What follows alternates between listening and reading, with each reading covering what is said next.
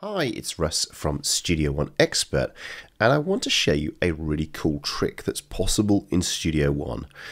And this is a godsend if you've got an instrument, for, for example, a drum VI that only has stereo outs and you want to get separate outs and render them. Now I've got a, an instance of Xpand here, which is a great kind of multi-timbral uh, sound device that was first in Pro Tools but is now available for all DAWs in VST or AU. And I've got in here playing a drum part. So if I play you this now,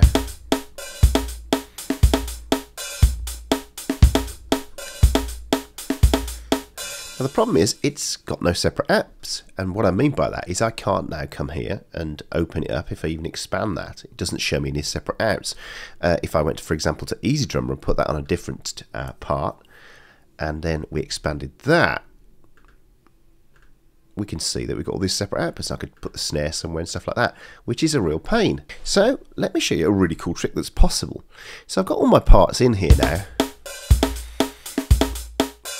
and I'm going to create separate outputs from this. I'm going to be able to render them to different tracks. It's uh, a couple of stages we need to go through, but pretty straightforward. If we double click first to get the MIDI event editor open, and what I'm going to do first is I'm going to come here to the the drum names, and I'm going to come here, and I've got to, yeah, I've got the kick on C1, and on an F1 I've got uh, on E1 I've got the, the snare, and then on F sharp one I've got the hi hat and the open hi on on it looks like uh, A sharp one.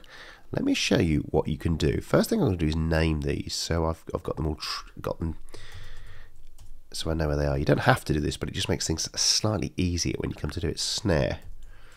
Put snare in there as well. And then we've got, uh, as to say, hats there. And they've got open hats on A sharp 1, open hats. That'll do for now. It's just for me to do. So now I can see where all my instruments are there. Now the next thing I want to do then is I would never tell anybody to do this, but for what I'm going to do, it's just a, a, great workaround. Because what I'm going to do is I'm going to explode these to pitch. And if I explode them to pitch, what it would normally do is it would put the names, but it would put the precursor of the name of the track. So what I'm going to actually do is delete that. Don't ever do that normally. So I'm doing it, so I've got no track name now. Because when it comes to explode to pitch, if I go to explode pitches to tracks, if you haven't got it there in your recent items, then it will be in your instrument parts, explode pitches to tracks, do that, and now it's created them in different tracks.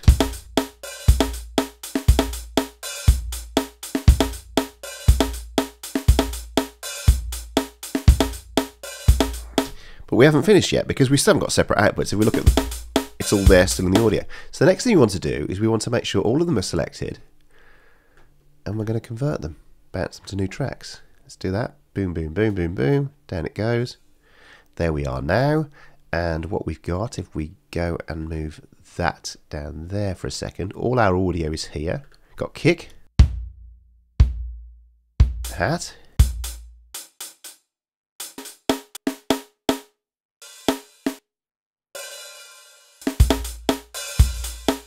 So I now have, I can hide these all together.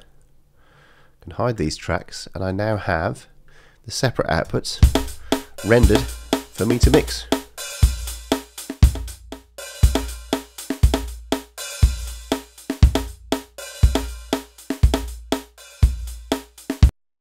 Very cool, very straightforward. Of course it is, it's Studio One. Thanks for watching, I'll see you again soon.